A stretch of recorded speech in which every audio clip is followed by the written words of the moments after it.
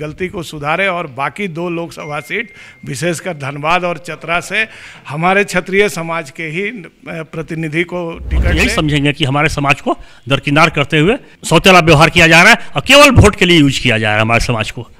इसको अब समाज हमारा बर्दाश्त नहीं करेगा। हमारा प्रतिनिधित्व जाति का होना चाहिए हमारे क्षत्रिय परिवार का होना चाहिए ये हमारी मांग है। वहाँ की सीट चतरा की सीट अगर श्री कमलेश सिंह जी को जाता है तो वो सीट 100 परसेंट बीजेपी के झोली में आनी है। और सिर्फ़ बीजेपी के झोली में एक सीट नहीं आनी है, उसका प्रभाव पूरे झारखंड में पड़ना है, पूरे देश में पड़ना है। लोकसभा चुनाव की सरगर्मी काफ़ी तेज हो गई है। झारखंड की 14 लोकसभा सीट में से 11 पर भाजपा ने अपने उम्मीदवारों की घोषणा कर दी है। वहीं इंडिया गठबंधन की ओर से अभी भी उम्मीदवारों की लिस्ट फाइनल नहीं है। लेकिन भाजपा की ओर से जब उम्मीदवारों की घोषणा की गई तो उसमें क्षत्रिय समाज को कहीं ना कहीं अनदेखा किया गया है। और बता दें कि अभी हम हरमू में मौजूद हैं और बाबू वीर कुंवर सिंह पार्क में एक अहम बैठक हुई और इस बैठक में साफ़ तौर पर नाराज़गी जो है भाजपा के प्रति तमाम क्षत्रिय समाज के लोगों ने ज़ाहिर की है। हम यहाँ पर बात करते हैं, क्षत्रिय समाज के लोग हैं। क्या कहेंगे, जो दो कैंडिडेट थे, उनका भी नाम लिस्ट से बाहर हो गया है और अब तक घोषणा कुछ नहीं हुई है।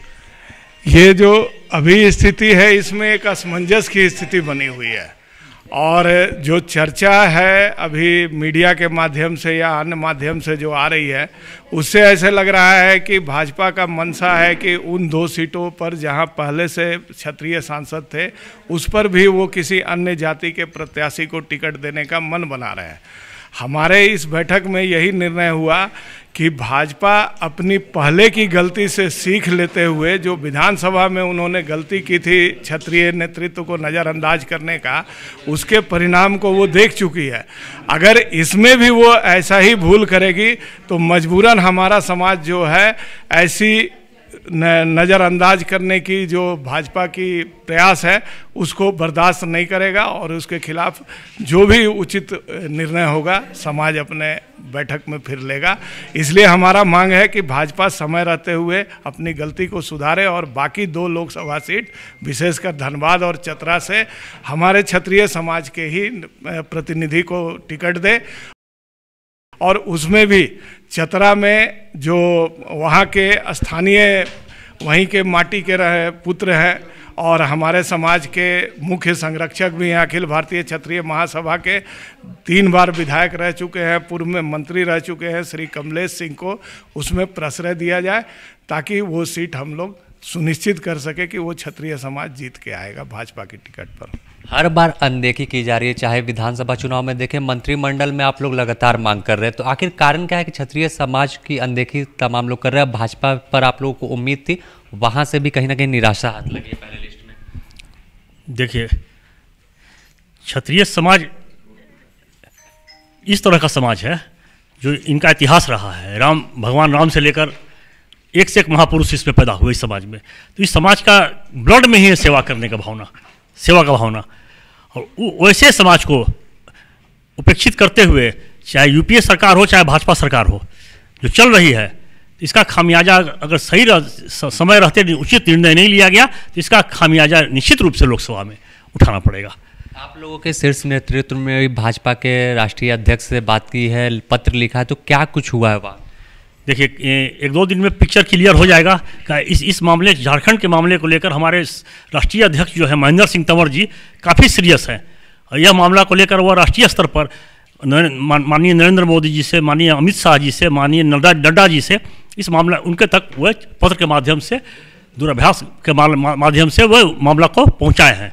और उसके बाद भी अगर भाजपा के शीर्ष नेतृत्व अगर सही रूप से, सही उचित निर्णय नहीं ली तो यह इसका असर केवल झारखंड में ही नहीं पड़ेगा इसका असर देश लेवल पर भाजपा के चुनाव में पड़ेगा। झारखंड की दो लोकसभा जो सीट पर है उन दोनों सीटों पर आप लोग समाज की बात करते हैं? हाँ दोनों सीट हमारा देखिए पूर्व से उठा कर देखिए चुनाव का गणित या चुनाव का रिज़ल्ट धनबाद हो या चतरा हो अधिकांशतः वहाँ क्षत्रिय समाज के लोग ही विजयी होते आए हैं। तो हर तरह से अगर देखा जाए पूर्व के लगातार आज़ादी से लेकर आज तक तो सब कुछ देखते हुए उनका कार्यशैली भी अच्छा रहा है, लगातार जीतते आ रहे हैं तो वैसे सीट्स पर भी अगर उपेक्षा की जाएगी, जो जीता हुआ सीट हमारा है समाज का, अगर वैसे सीट पर भी उपेक्षा की जाएगी तो हम तो यही समझेंगे कि हमारे समाज को दरकिनार करते हुए सौतेला व्यवहार किया जा रहा है और केवल वोट के लिए यूज़ किया जा रहा है हमारे समाज को। इसको अब समाज हमारा बर्दाश्त नहीं करेगा। सीधे तौर पर धनबाद और चतरा सीट पर जो है वो क्षत्रिय समाज के कैंडिडेट की मांग कर रहे हैं। यहाँ पर सत्येंद्र सिंह जी हैं, इनसे ही बात करते हैं। चतरा पर कमलेश सिंह को ही क्यों आप लोग मांग कर रहे हैं? देखिए, कमलेश सिंह का नाम का जो ज़िक्र हुआ, मांग इसलिए कर रहे हैं कि हमारे कमलेश भाई तीन बार के हुसैनाबाद से विधायक हैं और हुसैनाबाद भी उसी चतरा संसदीय लोक क्षेत्र का हिस्सा है। तो हाँ सॉरी, पलामू का है। तो हमारा उस क्षेत्र से जो लगाव है, पहचान है, उस मिट्टी से जो लोगों का लगाव है और एक दूसरे से मिल समझते हैं तो हम समझते हैं कि सबसे अगर लोकप्रिय कैंडिडेट कोई होगा उस क्षेत्र के लिए, योग्य और सुनिश्चित किया जाए तो कमलेश सिंह हैं। अदरवाइज़ अगर भाजपा को, बीजेपी को कोई बड़ी शक्ति, बड़ी पावर दिख रही है कि वो हमारे सीट तो उसमें भी कोई क्षत्रिय परिवार का अगर बड़ी पावर भी उनको दिखेगी कि वो सुटेबल है तो हमारी कोई विरोध व्यक्तिगत कैंडिडेट पर नहीं हो सकता है कि हम इस कैंडिडेट के लिए ही आंदोलन करेंगे या नहीं करेंगे। हमारा प्रतिनिधित्व जाति का होना चाहिए हमारे क्षत्रिय परिवार का होना चाहिए ये हमारी मांग है। वहाँ पर जो सांसद सुनील सिंह है उन पर बाहरी भीतरी का भी आरोप लग रहा है तो कहीं ना कहीं जब कमलेश सिंह को टिकट मिलता है तो फ़ायदा कितना मिलेगा भाजपा को? फ़ायदा भाजपा को तो डबल डेढ़िया मिलेगा क्योंकि वो लोकल प्रतिनिधित्व तो है और तीन तीन बात के लोकप्रिय विधायक हैं हमारे मंत्री भी रह चुके हैं। हर व्यक्ति से उनका लगाव है क्षेत्र का तो वो निश्चित जीत का गारंटी की जीत है। हंड्रेड परसेंट उस सीट को हम लोग निकाल रहे हैं और हम समझते हैं कि वोट का प्रतिशत हमारा पहले से डेढ़ गुना बढ़ जाएगा। आप लोग भी चतरा गए हुए थे वहाँ पर सर्वे किया तब कमलेश सिंह के नाम को आगे लेकर आ रहे तो क्या कुछ वहाँ फीडबैक आप लोगों को मिला? देखिए फीडबैक तो आपको बार बार बताया जा रहा है कि तीन बार से उसी क्षेत्र से विधायक रहे। आप सोचिए, बीजेपी। बीजेपी, आज बीजेपी ने जो देश में काम किया है, उसको देख के बीजेपी का एक, कहिए तो एक पूरा एक माहौल चल रहा है, एक हवा चल रहा है देश में। जब एनसीपी से, निर्दलीय जो व्यक्ति उस क्षेत्र से बार बार विधायक बन सकता है अगर बीजेपी से सीट मिलता है तो आप बताइए आपको कोई शंका है? आपसे मैं पूछ रहा हूँ, आपको कोई शंका है? हम लोगों को तो शंका नहीं है। वहाँ की सीट, चतरा की सीट, अगर श्री कमलेश सिंह जी को जाता है तो वो सीट 100 परसेंट बीजेपी के झोली में आनी है। और सिर्फ़ बीजेपी के झोली में एक सीट नहीं आनी है, उसका प्रभाव पूरे झारखंड में पड़ना है, पूरे देश में पड़ना है। क्योंकि आपने एक और क्वेश्चन किया था, बड़ा अच्छा क्वेश्चन किया था कि लोकसभा हो या फिर विधानसभा हो, नजरअंदाज किया जा रहा है। देखिए, मैंने पहले भी बोला था, क्षत्रिय के इतिहास देखिए।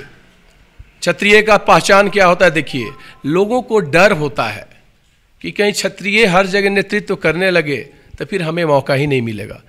क्योंकि क्षत्रिय से बढ़िया नेतृत्व और कोई कर नहीं सकता है। हकीकत यही है। तो हम आग्रह पूर्वक कहना चाहेंगे कि डरने की ज़रूरत नहीं है। क्षत्रिय कभी पीछे से वार नहीं करता है। क्षत्रिय वही करता है जो सही होता है। इसलिए बाकी चीज़ें तो तीर कमान से निकल चुकी है। इन्होंने ग्यारह सीटों का तो घोषणा कर दिया है। अब हमारे पास ऑप्शन ही नहीं तो हम तो छह मांगते।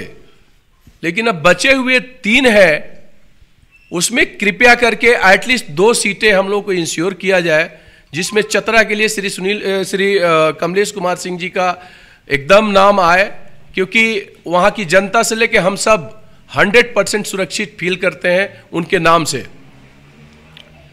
तो इसीलिए कम से कम ये दो सीटें आए।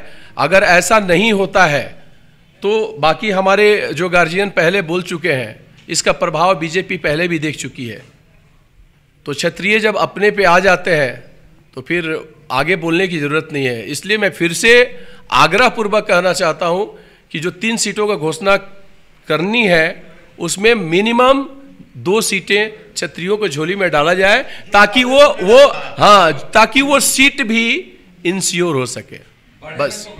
तो साफ़ तौर पर आपने सुना कि क्षत्रिय समाज के दो कैंडिडेट धनबाद और चतरा, पर क्षत्रिय समाज के होंगे। इसका जो मांग है, वो तमाम क्षत्रिय समाज के लोग कर रहे हैं और साफ़ तौर पर कहा कि अगर आगे अब नज़रअंदाज किया तो इसका खामियाजा चुनाव में भाजपा को भुगतना पड़ सकता है। अब देखना होगा कि आखिर आने वाले दिनों में जो लिस्ट आने वाली है, उसमें क्या कुछ देखने को मिलता है। आप बने रहे द न्यूज़ पोस्ट के साथ, अपने सहयोगी रवि के साथ, Sameer the news post Ranchi.